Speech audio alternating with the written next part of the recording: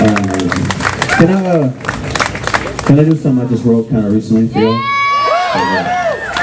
I have to explain it to you before I do it. So there's, there's a premise to this rap song. Some rap songs have premises. I hate to break it to you, but it's true. Uh, the one for this one, okay, the premise is I've been poor all my life, which is true. And then I had come into some money, which has not happened at all yet. but if it did happen, uh, I could fantasize about all the shit that I might want to eat. the food festival, I figure some of you all might identify. But in this song, none of the things that I want to eat are actually food. Okay, you know that.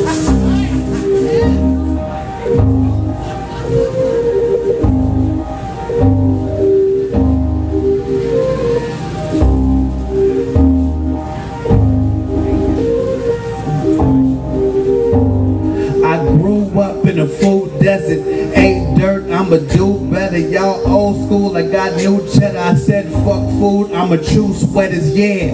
I bought me a rollie so I could eat the stones. I'm popping bitty bottles cause I drink cologne. What that mean to me yesterday, I ain't have things. I was tired of having these black beans, so today I'm eating that flat screen, yeah. On my boulevard, we ain't got no cookie jars.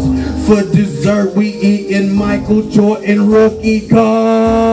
That's big league money salad. That shit's green, and I'm home snacking on comic books. Amazing fantasy 15 in my pack, and I'm Galactus chewing on your universe. Keep your sushi, I'm too bougie. Fry me up that Gucci purse.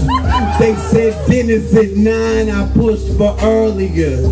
I pushed the menus aside and said cook the furniture. Oh. Damn new money, man, I just got paid. I'm trading brand new money for them gold gold chains that I got mills. I'll eat grills, I'll eat hundred dollar bills. I'm feeling like a billion, but baby, I eat how I feel. That's all I wrote.